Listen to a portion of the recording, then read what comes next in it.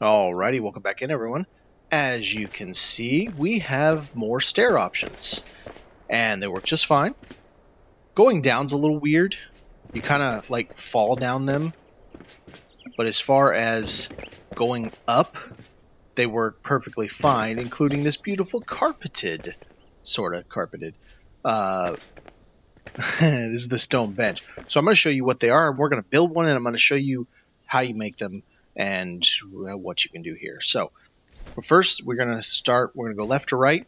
This is the polished wood shelf. And it, between this one, this if you need the, the decorative scrolling on this one, and the stone one, I think I like the best. This one, I the palm one, I don't like at all. It, it, I don't know. It just, it doesn't work that well for me. So, moving on to this one, we are looking at the carved wooden shelf. So, it has beautiful detailing in the front of it. Kind of zoom in there so you can see. Very nice detailing if you're doing a. Uh, well, actually, both of these will look really good in a fancy house, to be honest. Then we have palm wood shelf. Again, I don't really like the look of this, if I'm being honest. And then we have stone bench. So this is the only one that will pro- actually provide you comfort by being in your house. It's also the only one I think looks fine without support. Like if, if for some reason this was a cantilevered um, staircase came out of the wall, I think it would look all right. And then from the backside, you can see it lets in a lot of light through these. So especially if you, and this is kind of why I like this one a lot it actually fits the part really well and looks like stair treads, but lets a lot of light through. It's really cool effect. However, th- all three of these, I feel like they don't look good if there isn't something on both sides. Uh, it doesn't have to be open like these are. You could have just a wall going up, and this staircase goes up that wall but I feel like it does need something on both sides or it doesn't look like it's supported. And it looks a little weird. So we're going to show you how you make it today. It's very, very easy. Uh, little, wrong button. So we're going to start with the stairs. You need to turn snapping off unless you have it where you need it. So I need to go back one. I don't want to be right here because that's where the tread's going to be. I'm going to start with this. Now I'm going to turn snapping back on and boom. So we've got our staircase that we're going to use to model after. Now, there's a weird thing that I found out when I was doing this. So you can place your first one, and it's going to show up just like this. I place the first one, I try to center it on the tread as best I can, and I place it right at the top of the tread. Now you can actually go down to right there because all subsequent ones, for some reason, have to be like that. Like if I put this here, and if I put a second one in the same spot, it stops me from going up the stairs and i don't understand why. I mean obviously we're trying to use shelves as stairs so you know go go figure on your questions why. So i have to put it right at the bottom lip just like that. I can move up just fine doing that. And that's all we're gonna do. We're just gonna continue doing that up this staircase very easy to do now obviously you don't have to go up this high or you can go up even further you can do a double wide tread if you want to have something more grand.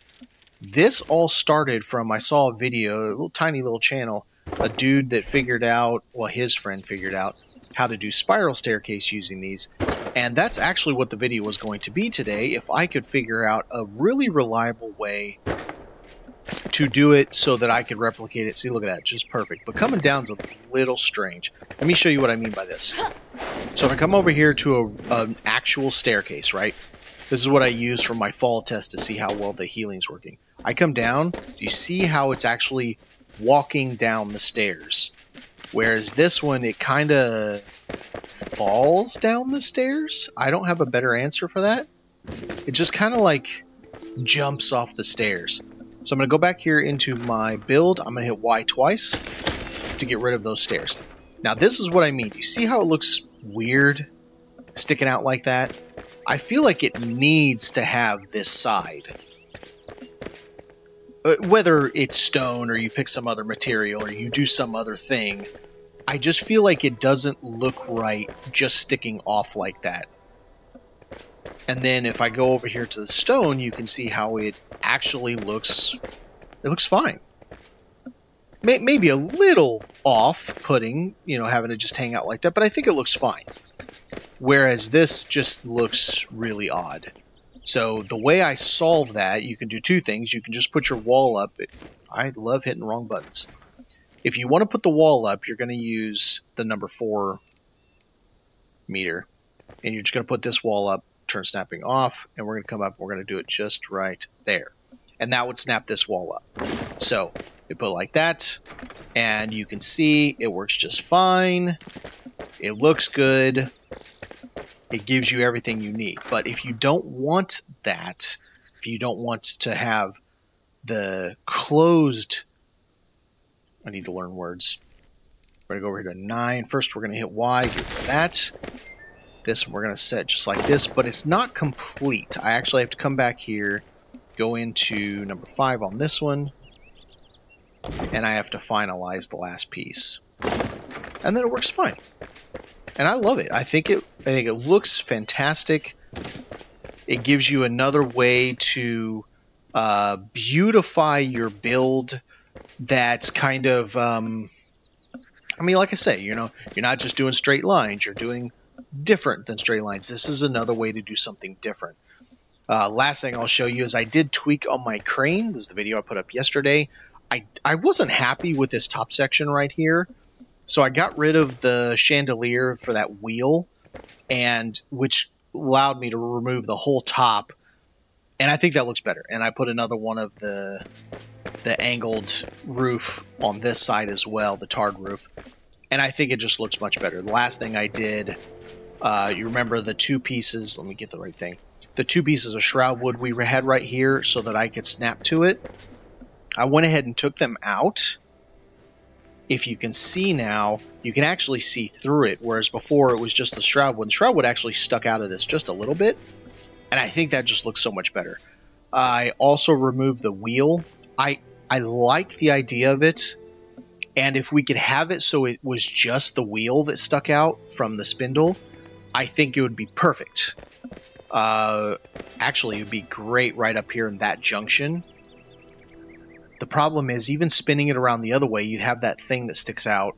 I don't know. I'll have to see. I'll have to play with that up there because actually that might be something that would work. But yeah, it it turned out really great. Now it's a little brighter for us to see it. It, it looks it looks really nice. It, it looks like a crane, minus the fact that it's basically a right angle. Anyways, thanks for watching, everybody. Enjoy.